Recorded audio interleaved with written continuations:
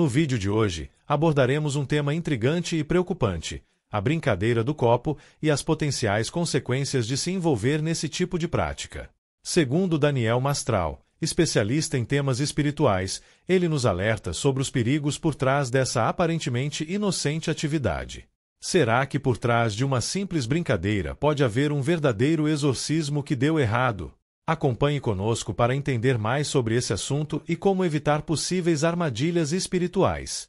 Em um podcast, Daniel Mastral revelou o que se passa por trás da famosa brincadeira do copo e explica tudo sobre o porquê essa brincadeira não deve ser realizada devido a riscos espirituais que ela envolve, como ele explica em um relato detalhado sobre um exorcismo que deu errado.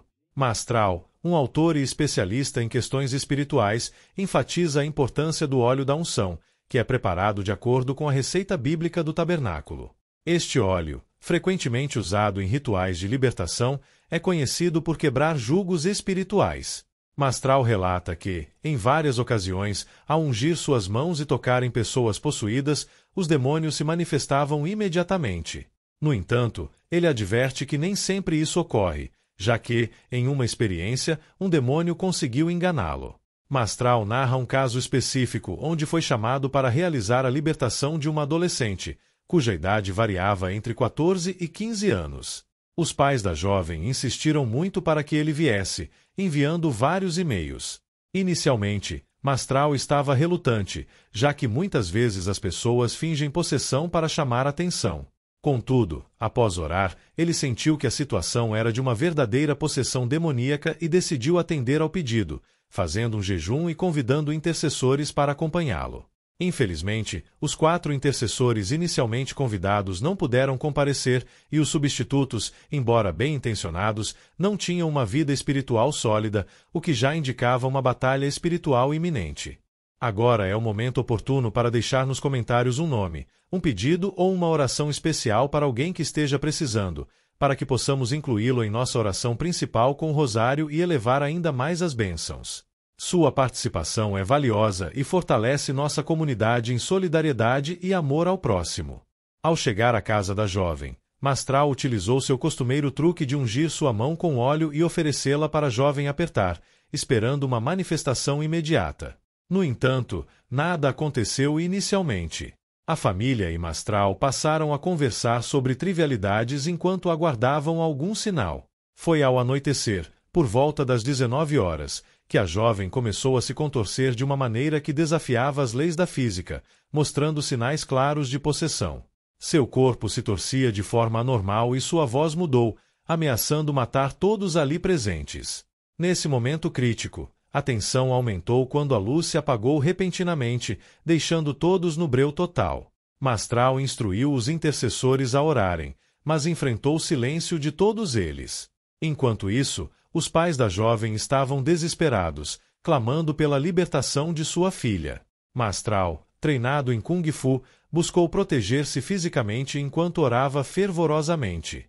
Ele percebeu que estava diante de uma situação extremamente grave, onde a proteção divina era sua única esperança.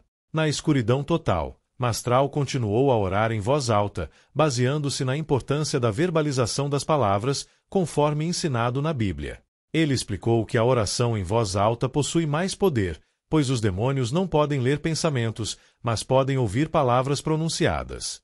Este detalhe é crucial no enfrentamento de forças malignas, já que a verbalização das Escrituras é considerada uma espada espiritual poderosa contra o mal. Eventualmente, lanternas foram acesas, revelando a jovem caída no chão, aparentemente exausta. Ao aproximar-se dela, Mastral descobriu que ela havia participado da perigosa brincadeira da tábua Ouija, ultrapassando limites espirituais. Após orar por ela, a jovem recuperou-se, mas a experiência serviu como um aviso claro sobre os perigos de tais práticas. Mastral concluiu, reforçando sua aversão a essas brincadeiras, citando que elas podem abrir portas para forças demoníacas. Essa narrativa sublinha a seriedade com que Daniel Mastral aborda questões espirituais especialmente no que diz respeito às brincadeiras que envolvem invocação de espíritos.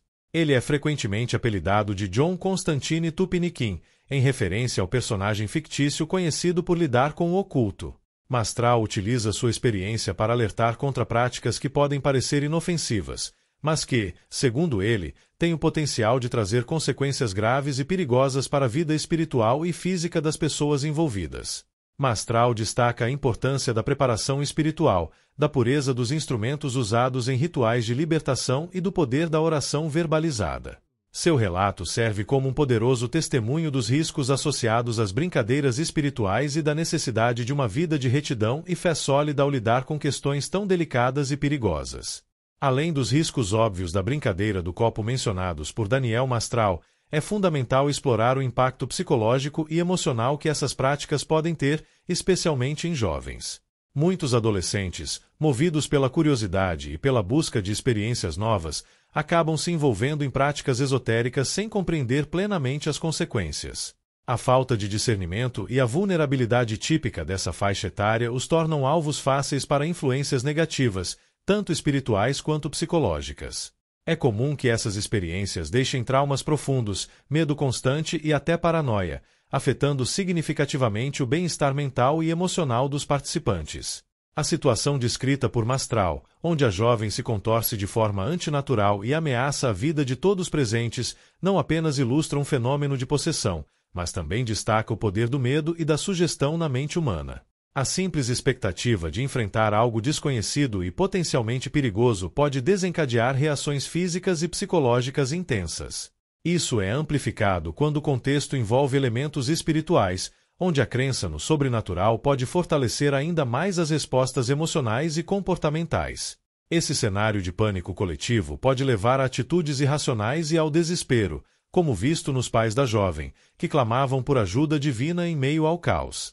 A importância da preparação espiritual e emocional para lidar com situações de possessão é um ponto central nas narrativas de Daniel Mastral. Ele enfatiza que não basta ter boas intenções, é crucial estar espiritualmente preparado e em uma posição de pureza moral para enfrentar forças malignas. Os intercessores, apesar de bem intencionados, falharam em oferecer o suporte necessário devido à falta de retidão em suas vidas, sublinhando a necessidade de uma vida espiritual disciplinada.